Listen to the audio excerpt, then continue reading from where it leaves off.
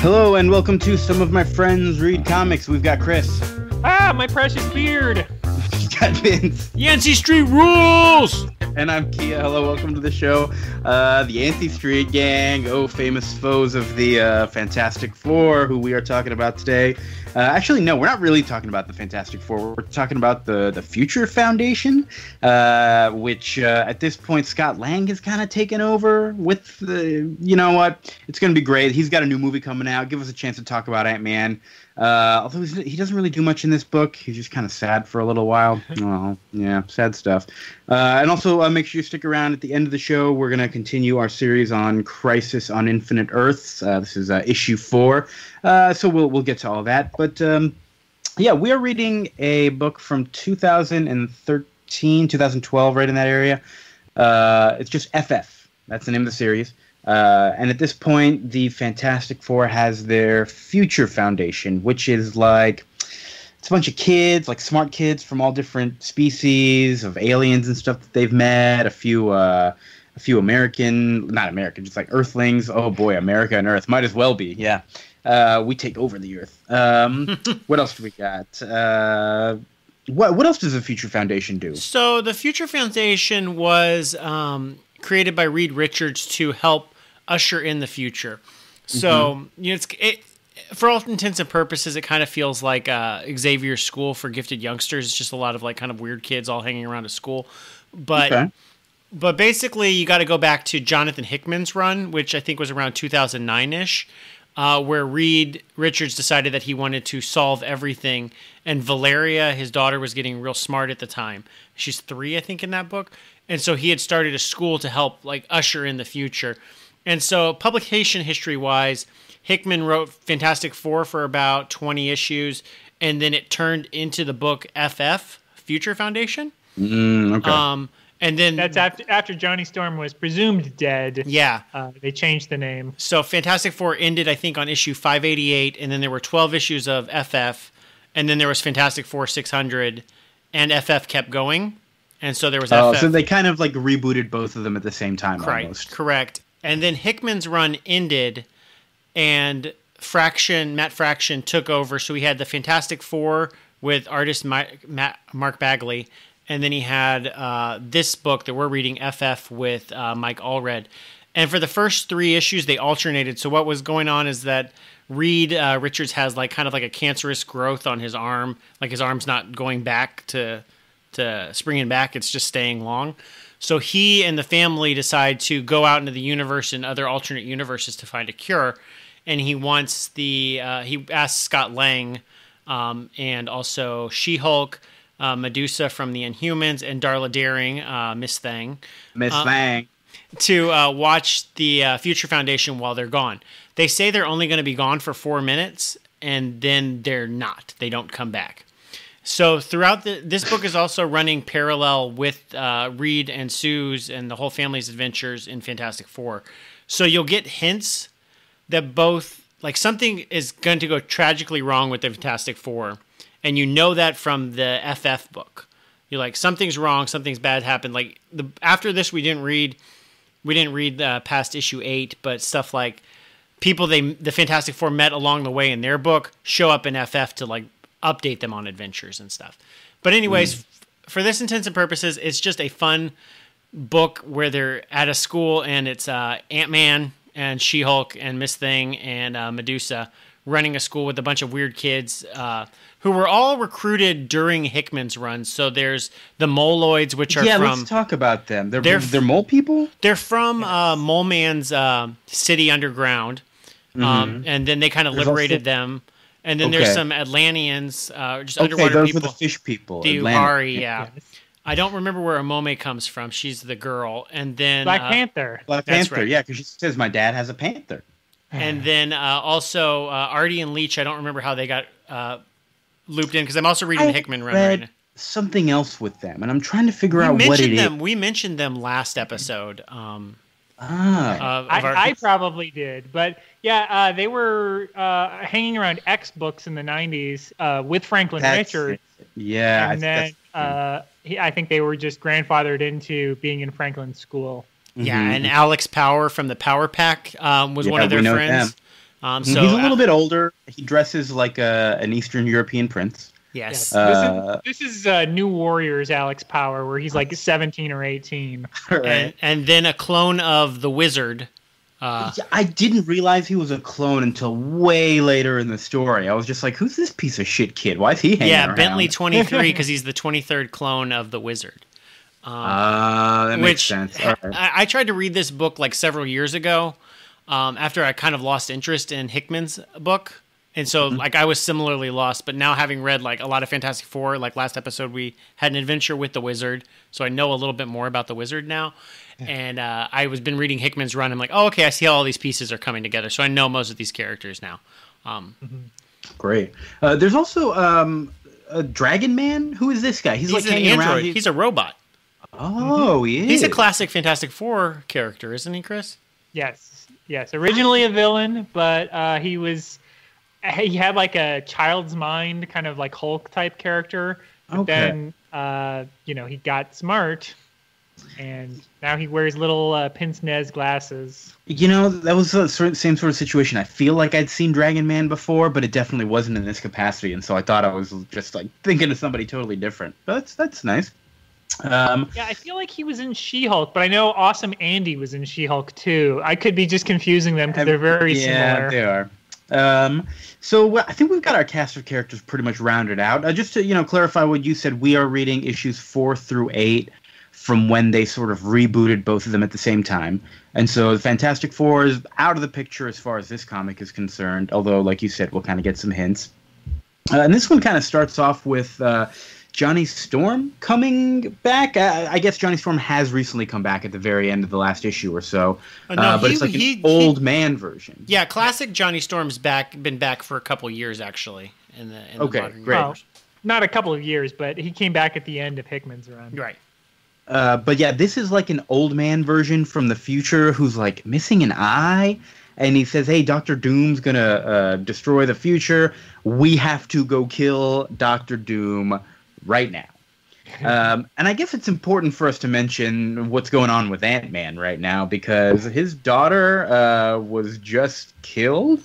Uh, yeah, she was killed for, by Doctor Doom. She was killed, Oh, I believe, no. in uh, Avengers uh, Children's Crusade. Children's Crusade. So if yes. you a, not, a not very good book. Not very good. Uh, Uh, unfortunate, but it is uh, also kind of what Ant Man's going through right now. He's like, yeah, let's go kill Doctor Doom. He's into it. yeah, Uh, Um, that was a weird thing because Young Avengers had Cassie Lang and Scott Lang was dead, and she was trying Mm-hmm. to avenge the death of her father, and then I think in so doing got herself killed, but her dad resurrected. It was weird. yes. Uh, that's funny. So this first issue irony. is kind of them like at the beginning trying to figure out if this Johnny Storm is even real. Like, do we believe what he says? Um, actually, I think at first everybody believed him. Medusa just kind of as a test said, "What if you're not the real Johnny Storm?" Just to see how he'd act, and he kind of blew up. Uh, it was not great. Uh, but you know, this whole Johnny Storm thing doesn't even really get settled in these four, five issues that we're reading. Um, but he's just kind of around. They, they have to deal with him a little bit here and there, but it doesn't really get settled uh, whether or not he is the real Johnny Storm for the future. So we'll have to settle that for another time. Uh, instead, this go ahead. I was gonna say that's the next issue that deals with him going to the Bowery. Yeah, there are so many great throwbacks throughout this entire thing, both in Matt Fraction's writing and in Mike Allred's art. Um, it is just really kind of a joy to read, especially after having recently read some of that old Fantastic Four stuff. It Mhm. feels like such an updated version of these old tropes in a in a really fun way. Yeah, in a later issue, uh, they actually show up. Uh, Allred and uh, Fraction show up in the uh, microverse. Um, Oh, Oh, is that? wow. I missed that. All right. this is like just an issue like, ten just or like eleven. Stan and Jack at Yep. the wedding. hmm Yep. Um, so we've been talking about a lot of different things already, uh, but I think the first issue, ab- ab- above all of this other stuff that we've been talking about, is mainly She-Hulk on a date with uh, her old fling Wyatt Wingfoot. Although I guess they were engaged at one point. That's what the book says. Yeah. Yeah, this was uh, Johnny Storm's what his old roommate or whatever from the the last books that we read. Yeah. Uh, and car car driving. Yeah, uh, oh yeah, He's got that guy. fancy car from the last book. Yeah. Ferrari. Um, but the thing is, the little moloids really love Jen. Like they are just in love with her, and they're like, we know what this is. She's going on a date. We can't let this be okay. We we need to find a way to sabotage it. Well, and so they go. they- They're so cute because the Moloids were in love with uh, with uh, Ben Grimm, the Thing, and they called him the Ben in uh, Hickman's run, and they love the Ben. Um, and then the Ben is gone, and now they love the Jen. Uh, it's just really cute, and they're all in love. And then Bentley, who wants to become a supervillain like his uh, dad, the uh, the wizard, is like, "I will mastermind this plot to break up their relationship to prove how good of a supervillain I am." uh, it is like it feels almost kind of like a like a Bob's Burgers kind of uh, like, like a home movies kind of thing with the kids trying to sabotage something the grown-ups are doing, and it, I just I really enjoyed that whole main plot of the book. It felt very silly, especially because all their plots went wrong. Like, oh, we're gonna try and like create a fire on top of the building that they're in, but it just turns into a little like light show. Uh, we're Yeah. gonna try and sabotage their dinner date by making the waiter do something crazy. And the crazy thing the, dater, the waiter does is gives everyone their meal on the house, which is just such a random thing. Yeah, I liked it when they summoned the like you know uh, 50s era you know Jack Kirby monster Gormuu type guy, and then he like defeats himself basically. They're just like, "Whoa, I can't believe we're watching this. This is crazy." and it ends up bringing them closer together, which is great. Um, and at the end of this issue, we get a weird little twist in that uh, Bentley is like getting encouragement about being a bad guy, and he's like lying in bed at night, and he's getting this encouragement from Medusa. What? Why is Medusa encouraging him to become a villain? Hmm.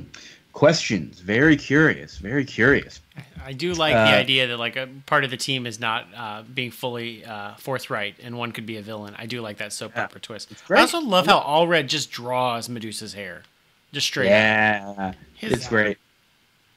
Uh, Yeah, the it- it's- cover It's, of it's a good reveal too because like you see the like the little tendrils on the ground and it's not immediately obvious what it is. And then like you turn the page and it's like it's Medusa. I highly recommend, even if you aren't reading this, at least go and look through the covers uh, because they're really great. The fifth issue that we're coming up on uh, is uh, Medusa with her hair kind of wrapped around everybody, tangled up in it. It's really, uh, it's really nice. Um, Yeah, shout out also kind of- to uh, Laura Allreds for her. She's the colorist. Uh, Mike Allred's the uh, the uh, inker penciler. She does it. and they're like a team. They always do their art together, right? yeah, she actually ends up taking over writing this book uh, near the end. Oh, So- great! I didn't know. Yeah. that. So Yeah. I really like I don't know if it's in this issue or the next, but uh, when Scott Lang, I think it's in issue five, which we're getting to now, uh, has the dream about Cassie and it's like all gray and he's just seeing her like on the, the hill. Like that's such an evocative image. And then when they are able to incorporate that into scenes, just like of him thinking about it without like a big thought bubble, I'm like, wow, this is really good. It is great. Yeah, it's such a smart way to save the thought bubble while still tell, telling us exactly what's going on in a more visceral way. It's great. Um, but uh, yeah, the second uh, issue, the the fifth issue, uh, is uh, Medusa introducing her son to everybody. Uh, what's his name? Ahuna? Isn't that- Ahura. Um, which I, you know, I know I've read some stuff with him uh, around there, but I, I gotta say I don't know too much about this guy. He's just kind of like a shitty teenager who doesn't want to be there. I guess. he's not in the Inhumans TV series. No, he is not. Absolutely not. yeah, Uh, he, he wasn't around in the Paul Jenkins run, so he is out. Yeah, he is a fairly newer character, I think, and like probably would have had, had to have been created after that, right? Like mid two thousands, or was he around before the Paul Jenkins run? Yeah, I think he was late 2000s when they were really like they kept putting Inhumans books on the shelves for no one. yeah, I'm not. They like really were pushing them. Well, I think it's actually because they knew they didn't have the rights to the X Men, and so they wanted the Inhumans to be like their movie property version, and so they had the Inhumans movie planned, which Ah. then got turned into a TV show, which then turned into a canceled, and so yeah, uh, that didn't pan out the way they wanted. I do still like the way they were uh, uh, created in not created, but just uh, approached in Agents of Shield with the Inhumans and everything. Uh, got to give that show a chance, everybody. Give it a chance. Right? Um, yeah, I mean, I think the Inhumans are a cool idea, but yeah, Yeah, but yeah. They're not the X Men. Come on. Yeah, now. and they're they're really not the focus of th- this book very much. Medusa is here. I don't really remember why her son is here or what's going on with him, uh, but he is there. Yeah, Uh, I guess they're thinking about having him join the school or something. I know. yeah, Yeah. he's, he serves up Maximus the Mad later. Oh, good, good for him. Um, we've got old man Johnny Storm, uh, old man John, they call him, old John, uh, who is going around the Bowery now looking for a place to rest. Which, uh, like, again, just such a great throwback. Uh, he did that in one of the old Fantastic Four issues. Uh, didn't Namor also like lose his memory and wake up in the Bowery and that Yes. kind of thing? There are direct references to Fantastic Four number four, including that issue appearing in this issue. Uh, including, yeah, that's he goes to the Bowery and he's like, I'll blend in with the other derelicts. Yeah, he's so using he's- this old timey language. he says it out loud in this issue instead of just thinking it, and they're like, "What?" Um, yeah, and then the, the guy at the store, his beard catches on fire. My precious beard. I'd forgotten about that line until you mentioned it. It's a great line. Uh, and she puts out the fire with that issue of Fantastic Four. That's oh boy. Just in case you're like, uh, has he ever burned someone's beard off before? yes. Um, what else is going on? We've got uh, the Inhumans kind of show up for a little bit. They're hanging out. Um, Crystal, who is Medusa's sister, uh, I guess old girlfriend of the Human Torch. I don't really know what their situation is like right now, but Crystal has a daughter um, who can kind of maybe see things. And she's like, Medusa, what's going on with you? And Medusa is like, the fuck? Don't talk to your queen like that. What is this shit? uh, then we get uh, oh Miss Fang. We haven't really talked much about her. Darla, what's her last name? Darla, Daring. Darla Daring, yeah, she's a Deering. rock star. Deering, Daring. Yeah, She's a rock she's star. she's like a pop star. Got like a uh, a record contract at what 14 uh, Grammys or VMAs at 17. Those are wildly different things. I don't know why I them. Um, but now she basically goes around with a big old uh, thing suit on, but her head is exposed, uh, which is a pretty cool look. Like uh, a woman with pink hair with a thing body uh, as part of the team. I think she was in uh, the Fantastic Four issues we did a while back. With Walt Simonson, I want to Walt say she was. The image looks very familiar. Yeah. Really? Huh? Maybe. Was there a girl in the Uh, thing costume, or was it Ben in the thing costume? I know the costume Yes. was there because Ben had had had gone back to being a human, right? But he still wore a thing costume. Maybe that's Yeah, what I, I'm th- I think it was Yeah. the Godzilla issue we did uh, where Ben was wearing the thing costume that that Darla is wearing. Yeah, That's great. Um, So it was in the 70s. There's a lot of references to like continuity that some of it is as obvious as Fantastic Four number four, where they literally are like, this is what we're referencing. But yeah, Darla Deering like having the uniform of the thing. And then later, we'll spoil it when we get to it, yeah. uh, referencing a TV show that Oh, I thing don't- was in. oh, I'm thing not ring, sure I do your caught that. Um, the, oh yeah, secret. So um, she, like I said, her head is exposed, and so she's looking for some sort of a headgear that she can wear into battle. And there's a fun little uh, uh, montage of her trying that stuff. And then we find out that the Dragon Man has created a nice little, uh, almost like a uh, astronaut's kind of helmet to go on top of her uh, suit. It's pretty nice. I think it fits pretty well. Uh, and that's when they find out that Human Torch has gone crazy. He's burning everything down, so they got to go save that, stop it up. Um, We come to my favorite panel of the my favorite panel of this book, which Uh-huh. is uh, Ant Man asking the kids for help, but he busts in on uh, is it Willie Lumpkin or Wally Lumpkin? Oh, yeah. uh, Willie Lumpkin, Wally Lumpkin. Uh, he's teaching a class, and he's got he's got a line across the chalkboard, and one on one half says birds, and one half says bees. And I love, I just love the idea of him teaching the Uhari and and the Moloids about the birds and the bees. It cracks me up to no end. Um, he looks like he looks like old Stan Lee. It's just really funny. It's cute. Stan Lee, Uh, of course, played him in the Fantastic Four movie in 2005. Uh, I I never saw that. I've never seen a single Fantastic Four movie. I have zero interest in it because I One know of them was on shit- FX this morning. You missed it. It was on at eight thirty this morning. Uh, I- what did you say? I missed it. Really? Was it was it Fantastic Four? Yeah, yeah, it was a 2015 one with uh, with Killmonger. Yep. um. So uh, it is Willie Lumpkin, uh, who was like an old newspaper comic strip character, and uh, wow. All right. Uh, anyways, um, I love that this panel. is- so I'm going to spoil something that happens a little bit later in the book. Uh, that happened kind of out of nowhere, I thought, but then this makes me realize, oh, okay, this makes a little bit more sense. Uh, one of the moloids uh, talks to his like brother moloids and says, "Hey, you know what? I think I want to be trans now. I'm going to become a woman." And I was like, "Oh, that's very much out of nowhere." But they're all super supportive, and they go, "Okay, we still love you." And it's just like, okay, from the rest of the book forward, this moloid is wearing a dress, and I was like, "Well, that's you know great." Kind of out of nowhere, but this now is like oh, okay, almost a little bit of foreshadowing that the kids are being taught about it and like which is which because they're just like little like they don't know any better right now. So to learn that there's something different and get a choice, I thought that's pretty cool. That is cool. I love that page when the when the Moloid decides that he's he's like, brothers, is it okay you now have a sister? I'm like, yeah, totally. Um, I think that one page on its own is like a full story in and of itself. Yeah. It just like tells you everything you need to know about these people, and then it's like, oh, resolution, great, we're happy. When they all Yeah, have it's their not that hard. Yeah.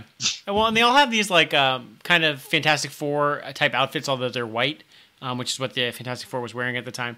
And uh, Tong is her name, and she wears a dress over that outfit from henceforth. And another thing I really love about Allred's art is like costuming. He's really good at like putting details and costumes over just standard costumes. And so I think that's Yeah. a really like nice art touch that how Tong always wears that dress. It's really it's really well done. It's really nice. I love in uh, issue. I think it's the next issue, but to go back to Tong's story because I don't. I mean, we don't have to talk about it too much more. But when uh, Bentley meets uh, Tong again, and is just like, "Oh, you're a girl now. That's cool."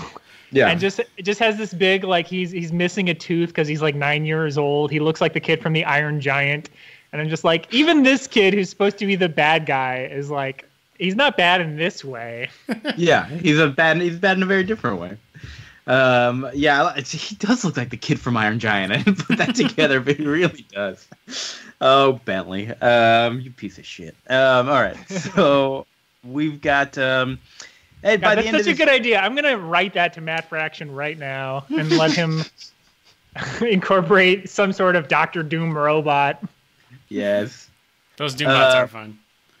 So uh, everybody goes to save the uh, or stop the Human Torch. Uh, it doesn't really go super well. There's like a picture, Daily Bugle, uh, the headline WTFF. Oh boy. Well, because the Uh, because the Uhari summon a giant undersea water creature to put him out, and then they just high five each other because they don't talk. They're all silent, and I'm like, that's my second favorite panel of them like nodding at each other like we got a plan. And Like, then the next got this." page, giant monster, and then final panel, high five, and I'm like, Yeah. good job, guys. it just happened. Yeah.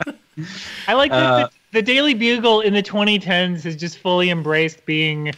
Which which uh, New York The- the- paper is the the, one that just in, in- exclusively writes in puns? Yeah, pretty much. Yeah. Yeah, the post with the full page. It's now it's kind of like tabloid size now. It isn't really is. It is the uh, just love child of tabloid news and um, important things. I don't know. Baxter uh, Building, Bumblers, Burn, Bowery. yeah, That's a theater. awful. That's a theater kid uh, tongue twister. Yeah. Uh, so, uh, meanwhile, while this is going on, Alex Power, I guess, has just decided to go and do his own thing. Scott's a little bit upset about this because he's supposed to be in charge of the kids, but Alex is 18. He can do what he wants. And he decides to go visit Doctor Doom. What? Uh, what is this all about? Uh, and then also, poor little Bentley, that shitty little kid, uh, at the end of this issue gets kidnapped by his pa, the wizard, and Medusa and Blastaar. Was that Blastaar? Yep, it is Did we see it? Wait, didn't we see him die just a few years earlier? In Yeah. Annihilation Conquest. Yeah, we I wanted some kind of throwaway being like, "That's not really Blastaar." well, you know, I don't know. Um, so on to the next issue. I think oh, this, oh, that's all I need is one like author's note that's like, "Yeah, this isn't real Blastaar. This is a ghost." uh, so on to issue six. I think issue number six was my favorite by far. Uh, it starts with Dragon Man realizing that Bentley is nowhere to be found, and we get one of those great sort of cutaway panels of the whole uh, headquarters with him going around, and all the rooms are labeled. And it's like, okay, these are the people who are currently in this room, kind of getting a tally, but no Bentley anywhere to be found. but I love those panels. You would just always get those Mm-hmm. little things in the old comics, and they're great for the super fans of like, hey, yeah, I've got this issue. It has like the whole schematics of the whole building. So if you guys want to come come over to my place and play Fantastic Four, we'll know exactly where everything is. You know that kind of thing. Uh, Yeah, I- oh, I- uh, by the I- way, you guys want to come over to my house and play Fantastic Four later? I'll play FF with you.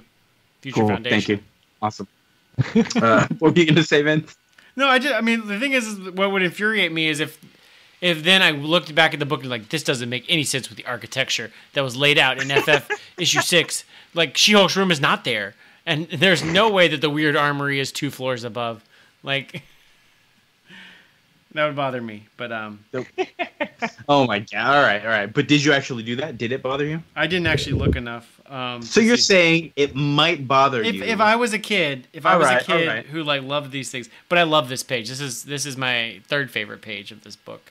Um, right there. Wow, you got. You, do you have I- a whole ranking? A Well, I kept making, I kept, you know, because we're, we're doing this new thing where we make our favorite panel, we, we name our favorite panel of the book, and I just keep like, well, what about this one? Well, what about this one? What about this one? And then I realized like all my notes were like that, and I was like, ah, okay, well, Fraction, or, Uh, uh, Allred makes good art, or at least art that really speaks to me. I really like it.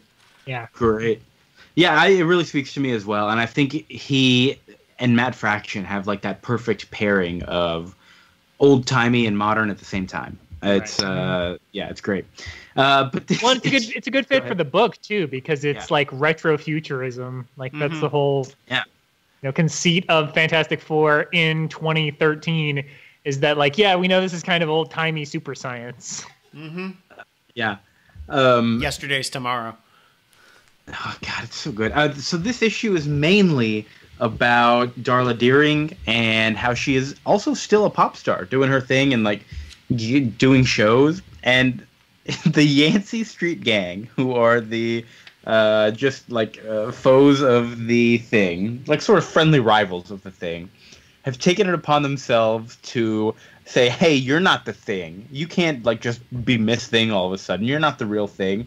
And so we're gonna like just get all over you and ruin your life. And they hack into her phone and post those pictures of her trying out new helmets.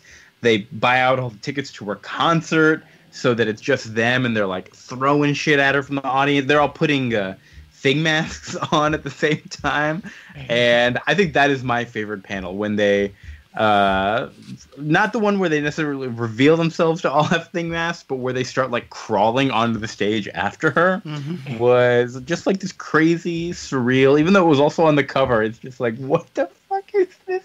This is great. So, Uh, so does the Yancey Street Gang predate this book?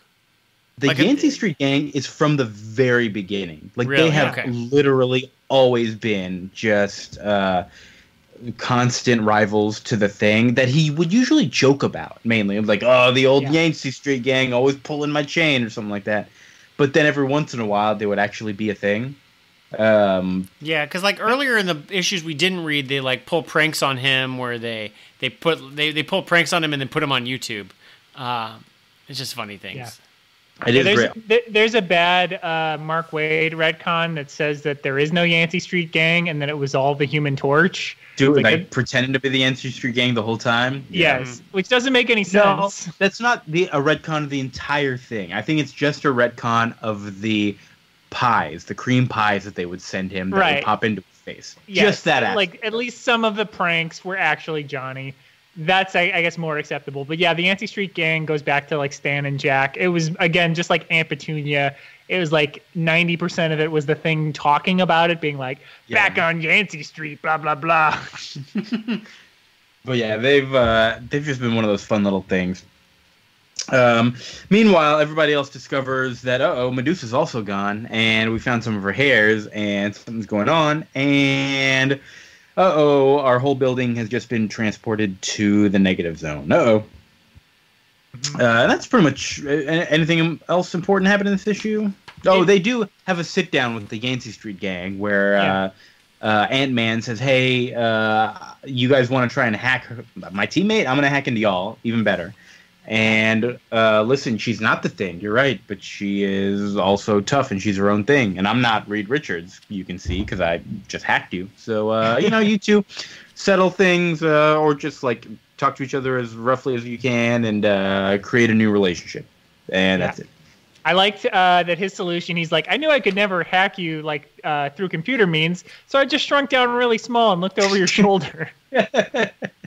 which is great. Oh yeah, he was also on uh, uh, Darla Deering's Miss Thangs. I don't know why I say her real name when Miss Thing is just such a great name. It's Miss Uh, Thing, but I like to call her Miss Thing. Well, I know, yeah, it is. We should clarify. Yes, Miss Thing is her name, but yeah, Miss Thing. How can you not say Miss Thing every time you say it? Uh, she's given this show, and Ant Man's like on her shoulder. So far, I got to tell you, they have not really fought. They have not fought a single supervillain. We've had some supervillains kidnap members of the team, yes, but in the first three issues, nobody has fought a supervillain. They are just dealing with being people, uh, and it is great so far. yeah, I agree. That's a real problem. D- It's a, wait, what? Yeah, well, because like, because this issue has like five different subplots going on, um, and the next issue feels kind of slight because it is mostly just fights. Yeah, it is a fight. Yeah. Yeah, Which which I, I like it though. Uh, I like the uh, the part where you know Scott Lang, and again, it's such a you know because it's they expect you to read this in trade basically, but they don't do like a 1970s style uh, where he's like, okay, kids, get ready for battle, and they're like, really, battle? Aren't you worried we'll die? Yeah.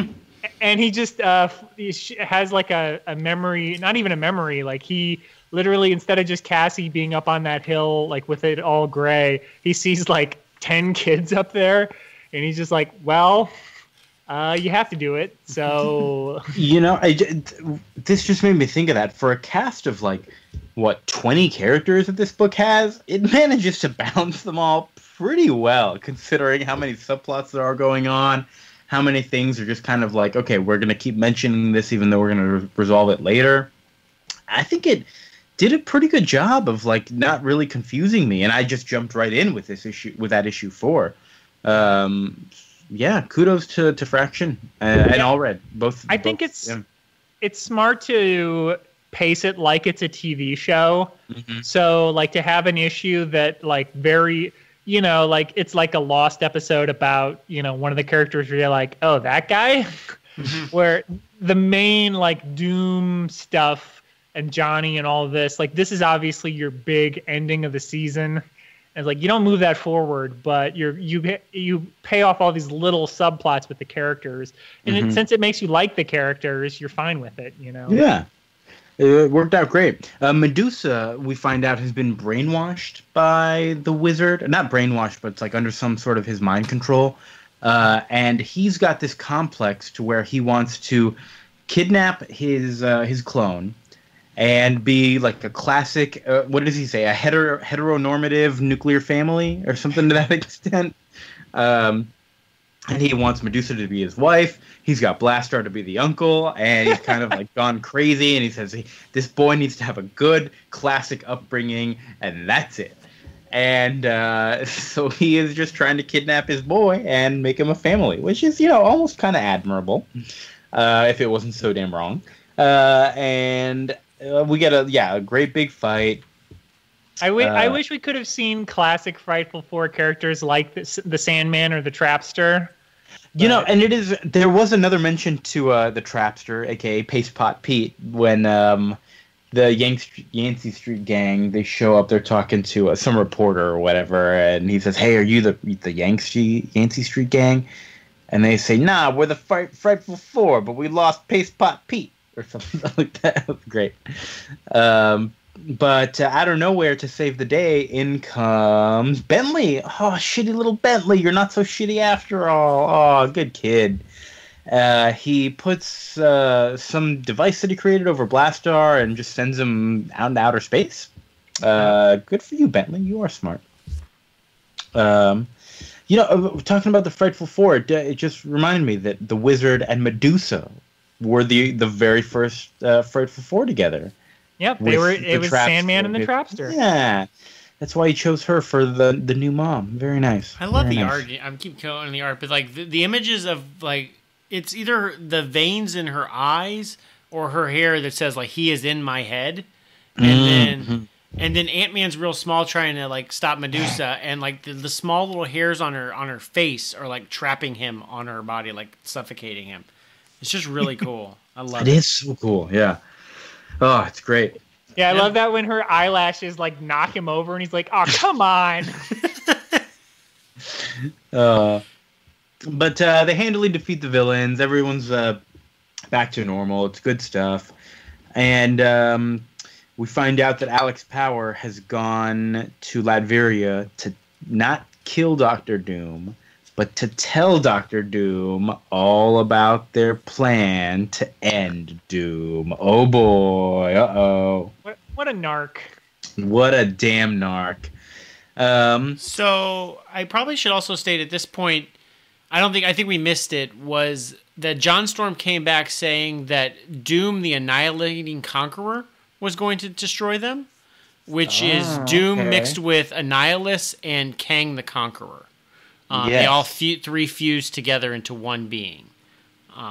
that's what he's claiming has happened. Yeah, da- uh, Doom, the Annihilating Conqueror, is going to Doom the Annihilating Conqueror. That's a pretty good name. Good mix of three names that are very Yeah. similar. which you I kind of forgot about until the first page of issue eight, where I'm like, oh yeah, I I had actually completely forgotten about this as well because he just shows up on top of the Fantastic Four. Well, the whole Fantastic Four tower just comes back to from the from um, the negative zone or from the negative zone, and this time Annihilus is on top, and he goes, "Ah, it worked." And you do. Oh, I could totally miss this the first time around, but you see him kind of blasting off off of the tower in the background while Mhm. everyone else is celebrating, like, "Yay, we're back! Hooray!" And they're on the ground. Um, and this issue is almost like a lot of cleanup about everything. Uh, they have a lot of issues with um, Medusa and how she was just mind controlled, and it's like something that's I don't know, just part of her. Like, hey, she's particularly susceptible to it. Yeah, And, I do like the uh, She-Hulk's like fool me once, like I'm not letting you around like the kids listen, anymore. you, yeah, you can't be around them. Like this could happen again. This is not good. Uh, that doesn't really get super revol- resolved because other more important things come up. Okay, so Miss Thing also has a new costume. Not really a new costume, but she has a new way of putting it on. It's two rings, uh, which she slams together, and uh, she says, "Thing ring, do your thing," which uh, is great. That's a is that a callback to the old TV show? Yeah. Yes, that's a callback to I think it was the late '70s TV show that the Thing was in, where he had a magic ring that made him the Thing. That's great. I, you know, I I'd never seen that, but it did really remind me, for whatever reason, of Gizmoduck and how he could just like put on. I don't. Blathering, maybe I was just blather thinking of- skites. Maybe I was just thinking of. Uh, uh, wait, blathering blather skites? I thought it was blather smites. Mm, Uh, you're we're you're gonna gonna, have to look argue with up. me from four year old me, so um, you can be right. Yeah, Oh no, all- blather skites. Is that what you said? yeah, Nah, damn it. I'm I was wrong. right, four year old Vince for the win. Uh, but Nailed it. They also have uh, Herbie is a character, uh, not really a character, just a robot that uh, supervises watches them over Johnny, sometimes. yeah. yeah, I love the And Doom that's another- Herbies. Yeah, that's another uh, 70s cartoon uh, character where for, I think it was because the Human Torch they were considering a live action show, so they're like, "Well, we'll give you this horrible robot, Herbie." Well, the other rumor was is they didn't want kids lighting themselves on fire. So that was the rumor, but it was untrue. okay. um, Even you, kids yeah, in the 70s were not that stupid. yeah. God. I'm the Human I Torch. should- Uh, I've got a new uh, superhero, Tide Pod Man. Uh, it's gonna be great. Uh, all right, so uh, enough of eating Tide Pods. Please don't do that, kids. Listen to the show. do kids listen to this show? Uh, we should we should maybe say fuck less if kids listen to this show. Um, oh, if you if you listen to the show, I would imagine you listen to the show if you're hearing this. Uh, you know, a quick plug for us in general. We are just three dudes sitting at a desk uh, talking at microphones. If you want us to try some new stuff, uh, tell us to do it. That's why we're talking about Crisis. Somebody said, "Hey, try this," so we're trying it. Always down to try new stuff. Hit us up. Yep. Uh, we love our fans. So we basically wrapped up this issue. It ends with uh. Yeah, Doom. So. Doom is very mean to Alex Power, which is not surprising if you know anything Mhm. about Doctor Doom. Smacks him. Oh, so mean. You don't tell me what to do. I do love how Latveria is colored in this book. But Mhm. I love it. Dragon Man's. Uh, I think uh, She-Hulk. We got in a fight with that. Dragon Man is made muffins. and He's got an apron on that says "Kiss the Dragon Man." yeah, that's great. Um, we've got um, Alex Power comes back home, right? Mm-hmm. But now And- he's a spy. But now he's a spy. We've got uh, him and uh, Bentley as well, and the Moloids are like, "Hey, can we trust y'all? Are you guys good guys right now? Like, what's going on?" They've got doubts. Uh, we've got, um, you know, She-Hulk and Medusa. They have their fight, which is interrupted by what is it interrupted by? Oh, we got a call from Dragon Man. We got the kids are fighting now. We got to go ahead and talk to them. Yeah, Uh, ben, Johnny Bentley's like wakes up. filming filming a short film.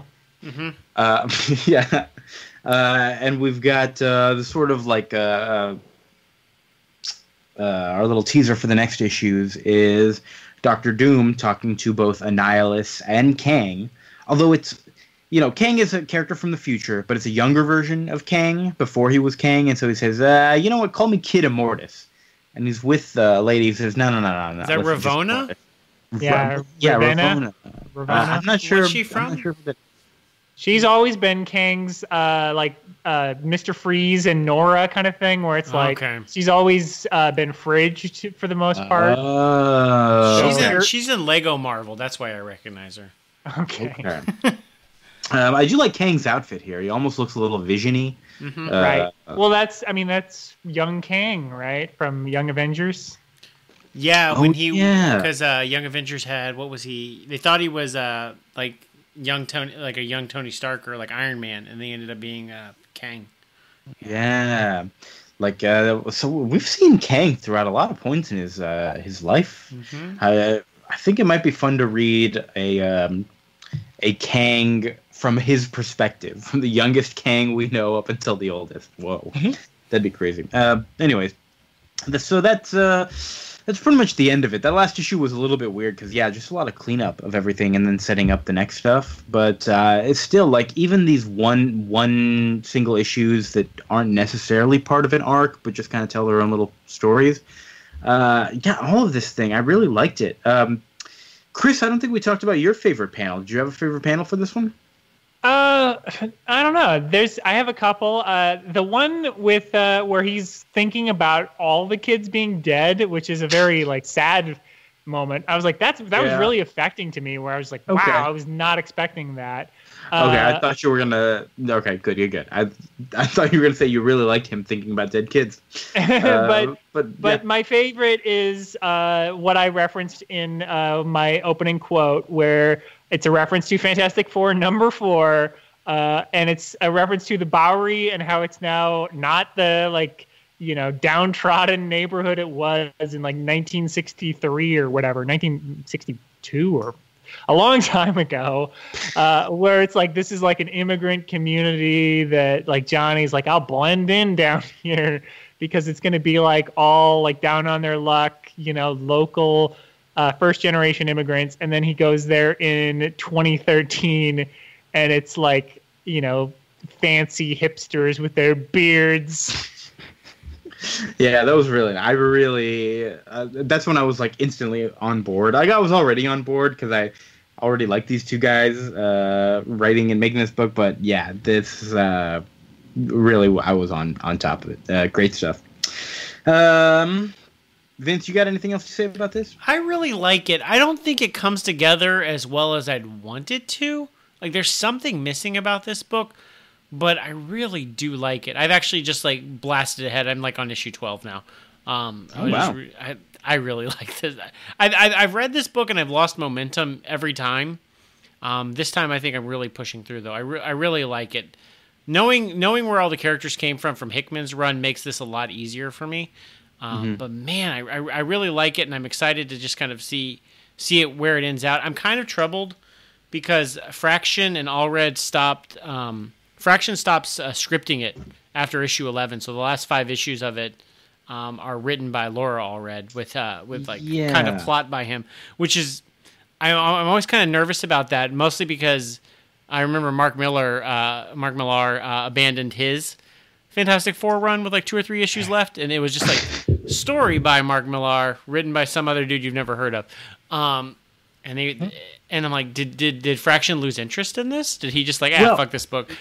Like, so I- I was reading something about how uh, apparently he had like I don't know issues with uh, editorial, and he left. I I don't remember exactly where I read it or what it was, but it was something about because he left both Fantastic Four books at about the same time. I think. Okay. Right. Um, yeah, Yeah, 'cause- I don't really have more details on that though.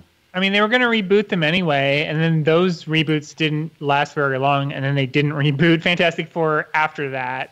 Mhm. Uh, so there's one more reboot in 20 what 13 Is that or 2014. Yeah, a Fantastic Four. Future Foundation's gone, Mhm. and then that lasts like 10 or 11 issues, and then it's like, well, we're done with this. Yeah. Yeah, I think, and then after that, there was that big Secret Wars event uh, that Hickman wrote, which was um, Yeah. pretty much him doing like the Fantastic Four is really important, but also sending them off, and like they're going to be out of the picture for a little while. Yeah, I only think so- like just now the Fantastic Four is kind of coming back into the Marvel I universe. think they come I'm back really in sure. August with Dan Slott. Yeah. Oh, great. so. Um, but yeah, th- I, I think this is a really good book. I do think it it it's it's a little unfair because like X Men is the same way. You know, like there's no there's no one character you can really sink your teeth into and be like, Mhm. this is my guy. You know, like X Factor. You know, another book from a, little before this era that I really love. Like Madrox is your guy. Like he's the Mhm. he's the main one. And yeah, there's like 15 more characters, but it's like it always comes comes back to him eventually, you know, even if an issue or two gets away from him, he's the main character. Like Scott Yeah. Lang really isn't that for FF, and I do think that kind of hurts it because even with the Fantastic Four, like I really like the thing. Like he's just cool, and so there's not. I like She-Hulk a lot, but she kind of disappears after she has her date issue, which was really good. Mm-hmm. But it's like I kind of wish it was about She-Hulk or Darla Deering or somebody, but since it's such a true team book, there's Mhm. not really any focus. Is my Yeah, I one criticism. I think that makes sense because Vince, I know you tend to not enjoy team books as much as solo books because you like having somebody to focus on a little bit more. Uh, and, and I think for me, I I don't know. I guess that's less important to me because for me, I really liked the switching back and forth, and each issue is sort of centered on somebody different. Um, I appreciated that. Yeah, Uh, I- yeah. This one was kind of flew in the face of that. Maybe I think the first two times I read it, I was expecting it to be a Scott Lang book, um, which it's not, and it's not Mm-hmm. because she- he is ex- he is explicitly stated as being the leader of the Right. whole thing, right? Yeah, even though he kind of doesn't feel like it most of the time. No, I'm I'm all about the Moloids and the and the Uhari. like though they carry this book for me. I love them so much. Um, Yeah, the Moloids are great. Even though at, at a few times their love for She-Hulk started to get a little bit creepy. Uh, but you know, at the end I was like, okay, they're just cute little kids. They don't know what they're doing. Yeah. that's okay. Um, but uh, yeah, overall, I really enjoyed it. Anybody got any last words about Fantastic Four or FF? No, it's a it's a, it's a good little run. Um, Yeah. I, I'm in an internet community. They're like, what are some obscure Marvel runs that are really good that because they have unlimited? And I'm like, FF, it's 16 issues. Just go knock it out. Um, Yeah. it's good. I feel like anything that Mike Allred draws ends up being like obscurely great because it's got such a classic old timey style to it that most modern fans just aren't into it. You know what I mean? I Yeah. love it. I mean, I, I, I don't think it's as good as X-Statix. And I Uh, what else? What could be as good as X-Statix? That's true. X-Statix I really like, and I think like his art sensibilities are good in this one, but it has a lot of what he was already doing in iZombie before this. Um, there's a Mm, lot of like like with like the reporters like taking pictures of them and stuff. Like that's that's all in iZombie also, um, which Mm-hmm. is a TV show very successful. I'm sure Mike is making some money off of that. So Yeah. good for him. And is Good he still him. doing Silver Surfer, or is that over? Uh, You know, he was as of a year or two ago, uh, but I think it might be over now. Okay, Uh, I'm not positive. I need to read Um, that. It's pretty cool. I think uh, We it's read one issue cool for it, the uh, Yeah. Best Eisner short story or something. And the Mobius yeah, issue, yeah. The Mobius, yeah, that was great. Um, all right, so let's move on to uh, Crisis. Yeah, Crisis time. All right, issue four. I, so in issue three, I remember I liked that one uh, a little bit more. It was like kind of coming around. Uh, issue four for Crisis started out with a nice, touching, emotional scene for two char- between two characters that I know. Uh, we got like, finally, it's finally starting to get on Yeah. track. We got Batgirl and Supergirl talking about They're the end of the talking. world. but really they're just kind of sad about the end of the world and nothing happens.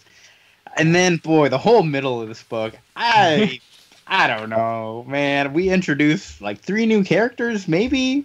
Constantine Uh, was here. Okay, so let's let's go back though to the Batgirl and Supergirl. Okay, scene. yes, go ahead. Because I ahead. think it's Great. like- let's focus. It's it's the best example of what I like about this book, or maybe what I want more out of this book, and what is Mhm. wrong with this book in my head. Okay. So, characters actually doing charactery things, living in this world, like processing the events that are happening. Whereas a lot of what's happening in this book is just like, oh, everything's turning to white. Oh no, we've got to stop it. But like you Happens don't. There's But- shadow monsters. Yeah, I mean Mhm. we've we've had now four issues where we haven't had much like movement on the well, what is this? and how does it affect us? We've just seen a lot of universes disappear. And so like I don't feel like the needle's really been moved from the last three issues at all. Well, I yeah, I don't feel like there's that we know why this is happening, nor do we have any sort of frame of reference for how can we stop it. Uh, and so it's just like, oh, okay, four more issues. This is just, yeah, it's happening. It's just happening, and that's it. Yeah, which like oppositely, like I like this scene and the the stuff I liked about the the Secret Wars book that ended the Marvel universe uh, by by Hickman. The side stuff, like there was a Ms. Marvel book where there she's just with her family, like in like kind of you know like a like a high school, you know that's been set up with cots and like just with her friends on their final day before they think the world's going to end. Like that's a really good story. And I think like the way Miles Morales handled it like that was also like interesting to me. Like I, seeing the like the real characters like perspective on these events is what I like more of these events because they're like this is just not going to happen. Um, and we're we're not good. And then like even like Supergirl's like saving people like and people are like I'm about to die. This whole universe is going like why the hell are you even bothering to save me? And Supergirl's like, because I have to. And like, I really like that. Like, that's good. That's really good. And then it's just like, I don't even fucking care. Yeah, Um, well, it's Yeah. like three people from different universes in their world. I don't know. I didn't realize are, I don't want them. Constantine was around in 84 or 85, though. Enough to be in this Um, ev- in this book. Which I don't. I don't even remember him in this book. Where Constantine he? was, Constantine was immediately after the uh, Batgirl and Supergirl scene, so he's like in page three or four of this. He's the one. Oh, it was like for a yeah, real quick. But Constantine, and he's talking about like, oh, don't worry about Swamp Thing. Oh, he goes, especially the Swamp Thing. Yes, especially to him. And I'm like, is Constantine still a Swamp Thing villain at this point? I'm not exactly sure about his like I don't origin origins. Well, he's not a villain at this point, but yes, he's a Swamp Thing character. Yeah, Uh, still smoking, still drinking. It's it's John Constantine. He never changed. Never changed, bro. uh, so of all these characters, the only one that seems to be important is this pariah guy. Is that his name? Did I Yeah, say he looks like Adam Yeah. Warlock. Yeah, he does look costume. a little bit like Adam Warlock. He's got, he's Uh, got the kind of curly hair with like a lightning bolt on his forehead. and dark eyeshadow as well. Yeah, that's very much Adam Warlock. Uh, and he, I don't know, after his universe dies or whatever, Monitor saves him and says, "Hey, man, I took you, I brought you back here to my home where I'm watching the world die, and I've been kind of working hard to keep that from happening, but I'm also dying a little bit." So, look, you're going to be important. You're going to take uh, charge of all this. And uh, listen, my kind of adopted daughter, she's going to show up and kill me in a second. And oh, here she is. All right, peace, dude. You're no, in charge but let now. that Bye. happen. It's gonna be cool. It's cool. Don't worry about Yeah, that. said, just let it happen. and like, I would say for a guy who's all knowing and who's like passing some knowledge on, like, pass some knowledge on, man. You know? I Need don't to know know. basis. Needs, I guess so. I feel like Pariah needs to know. I don't really know who Pariah is, but I know that he needs to know because Monitor told me that he needs to know. But that's all that he told me. He keeps he, Uh, keep, he keeps seeing universes die though. Like that's like his like curse. All he's, but that's all he's done for four issues, and then he dies. Uh, the no, no, no. no, no. Pariah's deal. That's Pariah's Oh, deal. sorry, I'm sorry. Pariah just was like, "Why is this happening? Why do I keep seeing universes die?" And then he finally meets the monitor, who's like, "Oh yeah, I saved you. You're gonna be very important." It's like fuck. I'm gonna see another universe die. I know that's gonna happen. the monitor does get killed by uh, remember his uh, his adopted daughter Harbinger. Uh, Yeah, I forget what Lila. her real name is. Lila, great. Uh, she uh, has been brainwashed by whoever Monitor's bad guy is. Do we know who it is? the shadow. Dude guy. in shadows. Dude in Yeah, shadows. Shadow guy. Uh, and he dies. He just straight up dies. She also gets kind of knocked away, maybe dead, maybe not. I don't know. But they do tell us on the cover that Monitor dies in this issue. Uh, I thought, you know, I'm kind of used to like modern comics that say someone will die, but then nobody dies. It doesn't matter. But he actually dies. Um, so maybe that was a little bit surprising. I don't know. I don't know Then why. Earth one Uh, and two. Well, yeah, there's go like some, there's some other stuff with like Firestorm goes and hangs out with King Arthur. Um, Um, oh, I did like Red Tornado was in this issue also for a little bit. Um, he, I've gotten to like him a lot because he played a pretty big role in the um, uh, uh, the Young Justice TV show that I really liked, the Okay. cartoon. Really, He's he's kinda he's, he's, a second-rate Vision to me. He is pretty much like a second-rate Vision, but uh, I got to tell you, after Young Justice, Vision might be a second-rate Tornado. That's all I'm saying. No, wrong. whoa, look- shots look, man. fired. You got to watch uh, Young Justice, then we can talk about it. Look, look, we had to sacrifice half the people on Earth to try to protect that robot for an hour. Yeah, we wouldn't have done that for Red Tornado. They would have been like, "Here you go, Thanos. You can kill this guy." Uh, I think that's. I think you're accurate. You're right, but um, I don't. I think it was less about saving Vision and more about keeping the power out of Thanos' hands. Uh, and you no, know, I think no, that says Vision is great, and they all knew Vision was great. So like, we got to protect this guy. He's the best of us. I do think that says something about Crisis on Infinite Earths in that we are talking about the Vision and the Avengers right now because so far this book, uh, like you know, I know it's going to be important. I know it's going to get there. Uh, but right now, I'm still. I, th- I thought I was coming around to it, but boy, Yeah. this And- one uh, went right back or took a step back for me. You know, Infinity Gauntlet and Infinity War both do such a good job of being like, you know, I kind of hope Thanos doesn't win and Magus doesn't win. But on the other hand, they are charismatic, cool guys, and I know who they are. Yeah. Uh, whereas I still don't really know. Like, there is no villain in this Yeah, book right who- now. Who is the Shadow is Guy? villain? There is no like. There's no shadow guy. Look, There is a shadow guy. We don't know who it is. Uh, and the only person who knew anything about anything died without telling anybody. And so, I'm excited to see what happens in issue five. Uh, anybody got anything else to say about Crisis? Great. No. I think. Mm, I, there's uh, a dinosaur Perez- in next issue. George Oh, is Perez's there? art still good. the art is still really beautiful. I think for s- juggling so many different types of characters, they are really distinct enough that you're like, who is this guy? Why don't I, I don't care about him? I don't care about this. Who is she? Um, and so you know, thank you, George Perez, for telling me, uh, keeping track of who I don't care about. Thank you. Uh, okay, time to end the show before we hate on this book too much. Uh, I promise. Hopefully, we'll start loving Crisis. I shouldn't pro- promise. What if it's bad? We'll get there. Um, but I think that is the end of the show. Oh, what are we doing next time? Oh, great. Well, Fourth of July is coming up. Very exciting. Time to celebrate America because America is the best country. We're going to take over the world. We're going to take over Earth, and America is going to be rich. Mark my words. I tell you, America is going to be great. Uh, Prez, talking about the president. Not no, don't worry, not that guy. The real president, Prez. You remember we talked about him a while back? When did we talk about him? Was that a year ago? Last July 4th. Last Here's year. the Last reason for the season. 4th. Reason for the season. Uh, they brought him back. They brought Prez back. Although they they re- rebooted the series uh, with a uh, lady Prez. Uh, she is a teenager who becomes the president of the United States. I'm very Ugh, excited. ugh. A, a uh, late, I a mean- female character? Ugh, bleh. You got a problem with that? Oh my god. Uh, this was from 2015, uh, a six issue miniseries um, by Mark Russell and Ben Caldwell. I don't really know much about this Ben Caldwell, but Vince, you were saying that Mark Russell has been doing the uh, Flintstones stuff recently, Yeah, it's really which good. is supposed to be really great. really yeah, the socially conscious Flintstones. Um, he's worried about exploitation of Cro-Magnon workers. Um, it's good. We gotta Um, put that on the list. I'm curious to read that as well. That I mean, I don't know if that's just a great tagline, and the book itself isn't great, but oh, it's uh, good. It, it's good. The art's really you've been good reading too. it?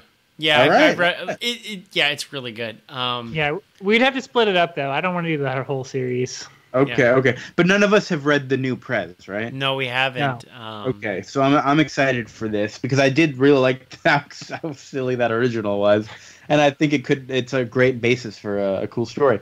I, I really hope there's references to our ongoing war against Transylvania.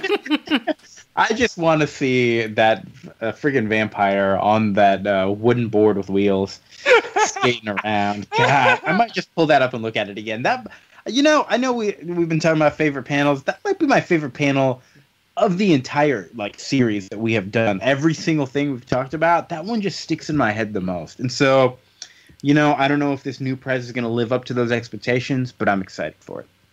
I love so, how we uh, joked that we were just going to read Prez again every July 4th. we did. We did. But I think I hope there's another reboot next year. If not, I will write it. We'll read my Prez fan fiction. It'll be great. Um, so, uh, hey, listen, thank you so much for joining us. Like I said earlier, uh, if you have any like uh, criticism, comments, uh, stuff you want us to try, just let us know. We'll try it. We're down for whatever. We're uh, we're DTF. We'll do, we'll do anything. We're down to P- DTP, down to podcast. Uh, down for criticism. Uh, yeah. Chris, what's up with your stupid minds, by the way? Oh yeah, yeah, yeah. Uh, your stupid minds. We uh, recently did. Uh, what did we recently do? It's, it's been a couple weeks. Um, we did a uh, recent movie, and now we're going back to 1990. We uh, did a Wings Hauser movie with Robert Z'Dar uh, a few weeks I ago. Uh, and uh, we're doing another one. This one uh, with uh, the bad guy is none other than Watergate henchman uh, G. Gordon Liddy. oh wow! In, in, a very strange, very bad movie. Uh, so check that out. It should be coming out next week, I believe. It'll very excited. and that's yeah, that's the Your Stupid Minds podcast because your minds are stupid. Uh, so to all of our stupid fans listening, thank you so much. We love you. Uh, we hope you will join us next time. Uh, even though we just called you out for how stupid you are, but listen, you know it's true, right? All right, talk to you later. See you next time. Love you. Bye.